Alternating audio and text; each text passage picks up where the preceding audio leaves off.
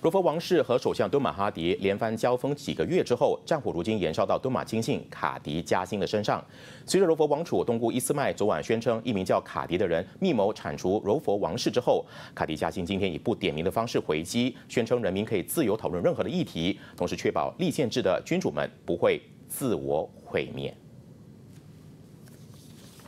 柔佛王储东姑伊斯麦昨晚在推特上撰文指控，一名叫卡迪的人曾在 U 汉大厦开会，并密谋要铲除柔佛王室。王储更向卡迪表明，如果要铲除柔佛王室，就要做得彻底。虽然文中并没有注明是哪位卡迪，但相信王储所指的就是首相办公厅媒体顾问卡迪加辛。U 汉大厦是资政理事会前主席敦达因的办公室，而卡迪加辛曾经担任理事会协调员。在耆老理事会解散前，卡迪加辛经常到 U 汉大厦。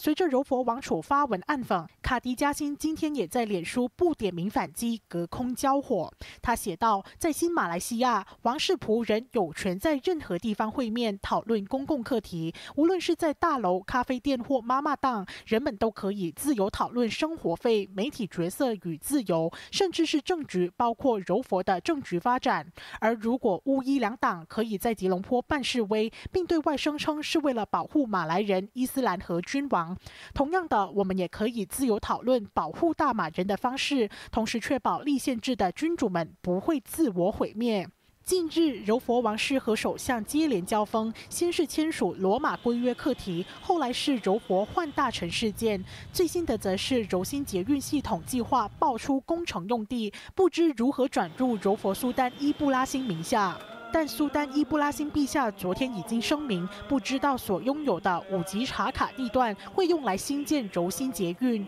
如果这块地段用来新建柔心捷运，陛下愿意无偿交出土地。